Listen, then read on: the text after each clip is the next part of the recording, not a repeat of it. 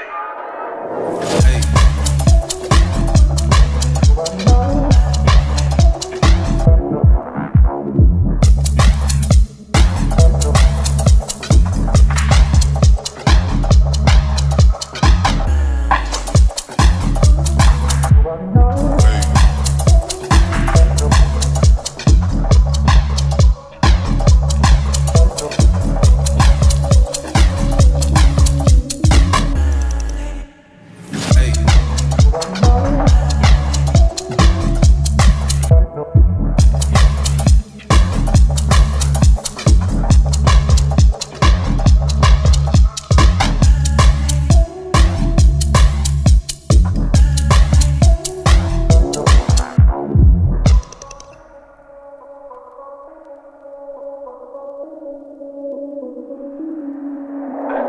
about the people that hurt you.